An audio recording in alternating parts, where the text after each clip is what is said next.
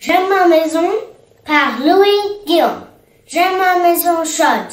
L'hiver quand le vent rôde, le printemps y pénètre par toutes les fenêtres.